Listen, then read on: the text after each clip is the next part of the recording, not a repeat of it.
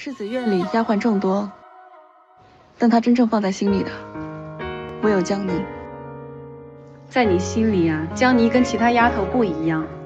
江妮呀，江妮啊，江妮啊，江妮啊，小妮儿，小妮儿。只是你的婚事，爹恐怕另有安排。江妮这儿，怕是没什么名分了。这事徐潇说了不算，我的人生我自己选。咱们可说好了啊，你刺杀我可以，刺杀失败就得赔钱。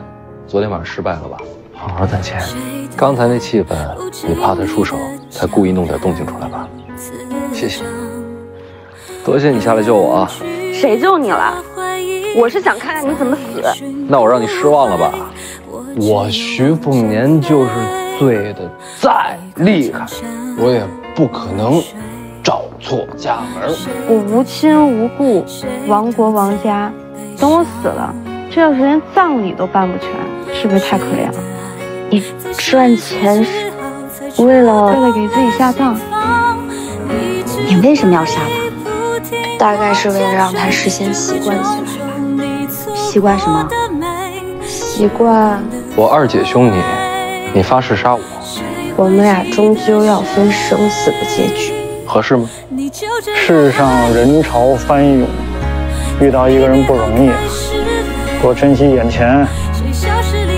江离，我家丫头，我家丫鬟，同房的，对不起。你什么小狗啊？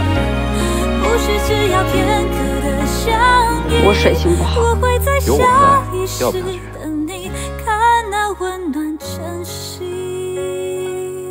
疼啊？我背后这丫头本是子欺负得，你们欺负不得。谢谢，你是世子吧？他让我护着你。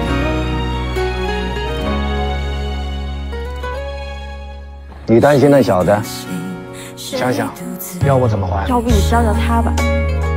我的人情就这么用啊？你这会杀我，一杀一个准。再痛也比死了强。死了就什么都没了。我和你二姐相继离开北凉，从某种角度来说，是江宁陪你走到了今天。连自己身边重要的人都守护不好，抓得太紧了。天下大局有什么意义呢？江宁，徐凤年，江宁，你敢动他，我会穷尽一生毁掉陆家。江宁不是棋子，江宁不是筹码，我不放人，我不换，不管你给我什么，我都不换。你和徐凤年从小到大的羁绊，还能真吗？可人心不会假，这样的生活很简单，可是我很喜欢。喜欢可以多说几遍，喜欢就留下。江离知道自己会死，所以不停的刺杀你，是为了让你恨他怕他，是担心将来自己有一天真死了你会难过啊。他是我的，谁是你的？世子只散镇辉山，就是为了身边人。没办法，我家丫头还欠我钱，不能出山。就让我陪他走完龙虎山这一程吧。大梁龙雀，我娘的佩剑，这也是我娘给我将来媳妇的聘礼。给你的，你怎么把这个给我了？送你的，给你的。神符，将军临行前要我将神符转赠一用。我现在是公主了，价要涨，翻倍。我不杀你，你不许死。一言为定。有舍才有得，有离别才会有重逢。